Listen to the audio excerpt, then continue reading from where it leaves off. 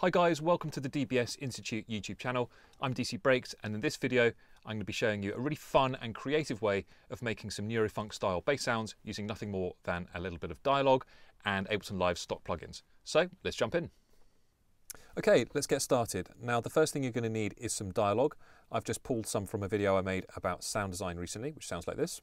Okay, let's move on and try designing a different type of sound and I'm going to and essentially the workflow is to use an audio rack on this audio channel and to add in successive layers of EQ, distortion and filtering, modulating lots of different parameters within those effects to create lots of movement and then basically building a kind of distorted neurofunk style bassline out of uh, those tones.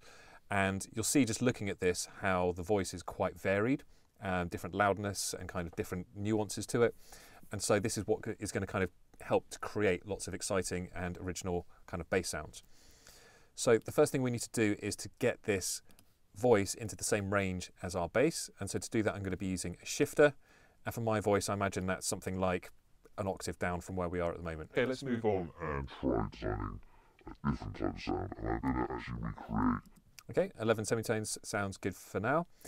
Uh, so let's go ahead and start by adding in uh, a little bit of distortion to kind of just make this a little bit dirtier. We'll start with maybe some erosion. And I'm just going to be using live plugins for this. Of course, if you want to do this with third-party plugins, you can as well. Absolutely, it works uh, just as well. Let's move on and try designing a different sound. And I'm going to actually recreate in a very kind of rudimentary way uh, the original which I've also covered in another video here. Just giving a bit more grit. Let's uh, try applying uh, an EQ as well. So something we can do with EQs would be, for example, to create some shapes like this and take a modulator, let's say an LFO, and start to modulate some of these uh, parameters. So we'll go for um, the uh, frequency of band 3 there. Now that's obviously far too wild, so we're just going to tame that back to be kind of moving through, sweeping through the range that's usable for us. And that's really this kind of 100 to maybe 2 or 3K kind of range for a, um, a vocal. And I'm just going to bring the rate down a bit, a bit too crazy otherwise. And then I'm going to do the same thing to band 2's frequency, but I'm going to invert the, the range so that it's going to move in the opposite direction.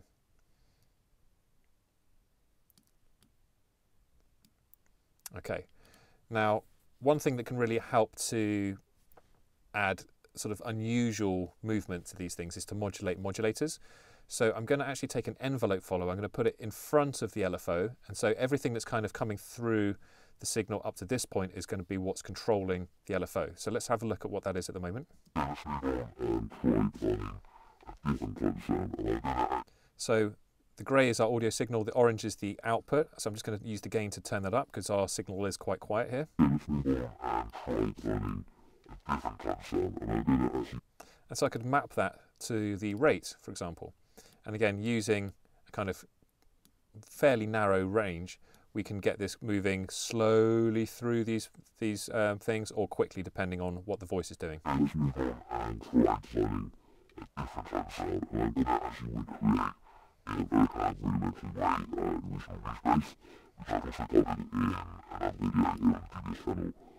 And so that's a way of getting slightly more interesting modulation shapes than just a standard LFO uh, with a sine wave, for example. Uh, we can also use uh, randomization as well, and that can yield some different type of results too. Okay, so we've used this now to pitch everything down, add a bit of distortion, and then modulate some EQ parameters. Let's look at adding a filter. Now, depending on the style of filter that you use, one of the problems with doing this is that it can be a bit final. And what I mean by that is that let's say we have an LFO modulating the cutoff frequency.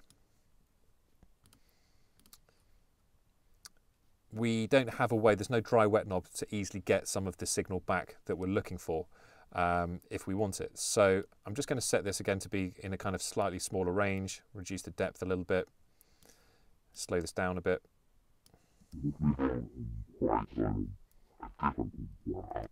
So at this point what I'm going to want to do is to come back up to our audio effects rack and just duplicate this and take off um, the filter and the LFO from this lane. So now we've got essentially, I'll call this one uh, filtered, and I'll just call this one, I'll call it dry. It's not fully dry, but it, it doesn't have the filter on it. So now we can actually use the volume controls to kind of mix between the two. Let's move on and try learning a different concept. I'm going to actually recreate But now if we want to apply further processing to the whole thing, we need to group it all. So I'm just going to select both of these and use Control G, and that's going to effectively put a rack within a rack. And now we can keep adding modulation, and that's going to process everything together. So the first thing I think this now needs is a bit more EQ, just to kind of rebalance it to be in the ballpark for where we want. Now, an important consideration here is if I hit play, you can see there's all this kind of low end mud down here, and this is being introduced by harmonic distortion and perhaps some uh, anti aliasing going on uh, through the processing that we've choose, um, we've, we've put on. So I'm just going to cut everything really about below 100 because in a tune situation, I'm probably going to want to add in a, a separate sub bass anyway. So we don't really want anything in this part um, for this process. Can hear how tighter that makes everything sound. But I do want to kind of boost up these frequencies here. This is kind of where the action is. So just use kind of wide slopes, low Q values.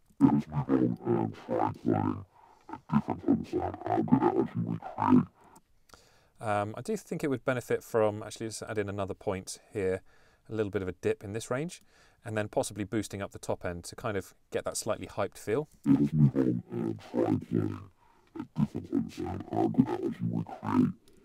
Now we could modulate that. Let's look at instead at using a different type of filter as well. So we've looked at using a low pass filter.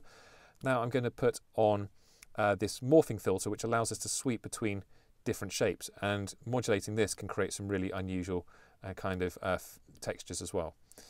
So let's put it on um, here at the moment, which is effectively like a, um, a band reject or a notch filter. Let's bring in another LFO. And then let's map that to the morph. So we're going to sweep between different styles of morphing on this lane.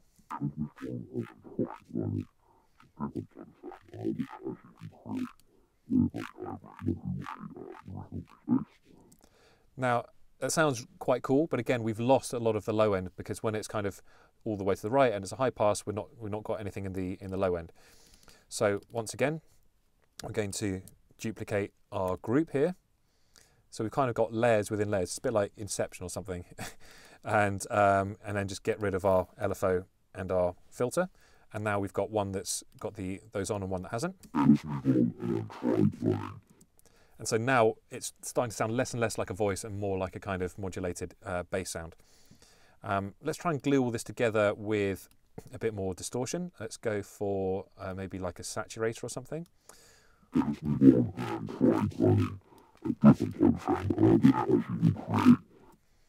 Um, we could also start to experiment maybe with some of the other styles of distortion, maybe just using small amounts. There we go, that instantly sounded really good. Uh, you may need to tweak this a little bit, but that one to me instantly sounded pretty good.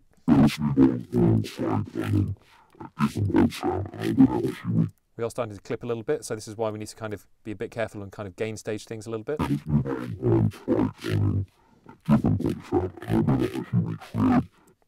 So we're probably going to want to EQ this after the fact again, just to control whatever's going on with these two things pesky low end crept back in, so we're just going to need to reduce that again.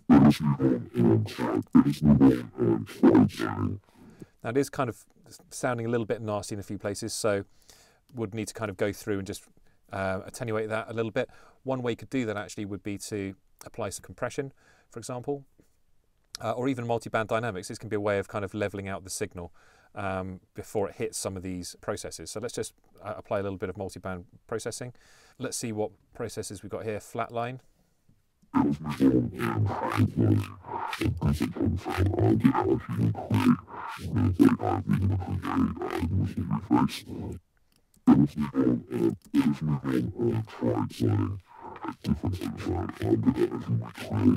Yeah, that's just helping to uh, make it a bit more of a consistent level. Um, let's apply a bit of coloration in our final bit of EQ here.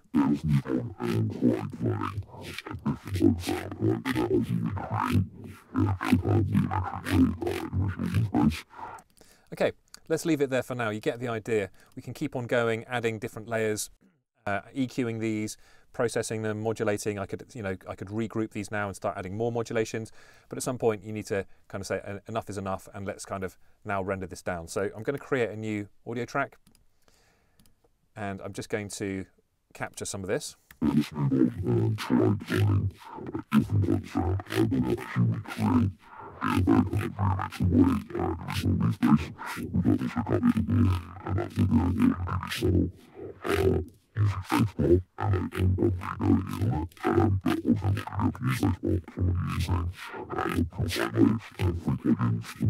Okay, so once we've done that, we can then go through and sort of pick out the phrases that we like best. And of course, we can go back and tweak it. We can continue to process this.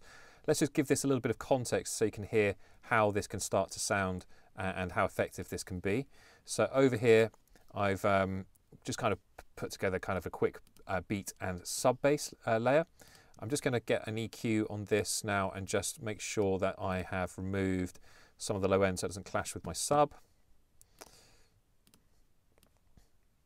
And let's hear how this sounds.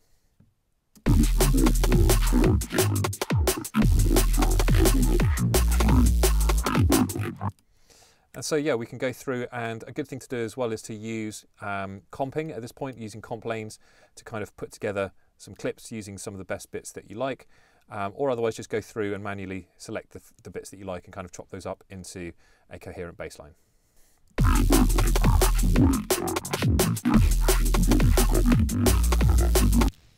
And the great thing is once this is all in audio, it's really easy to just kind of take the phrases that you like, let's say like so, and then just start stretching it and kind of positioning it in and around the beats that you've got. And this can really quite quickly get creative and sort of give you some inspiration for how to put together a bassline that kind of works using basically, uh, in this case, dialogue, um, but other kind of sources can work too.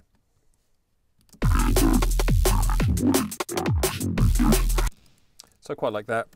We could loop that. That might be a starting point that we can use as a starting loop.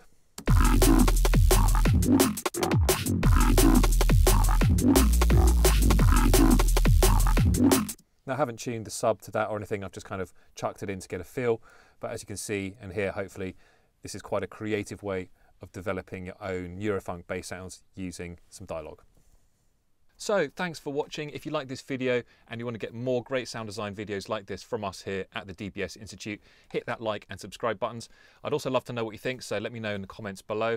And if you want to check out some more videos about bass sound design, check out some of the other videos on this channel where I've trained an AI to make some really crazy neurofunk bass sounds. So that's it for this video, and I'll see you in the next one.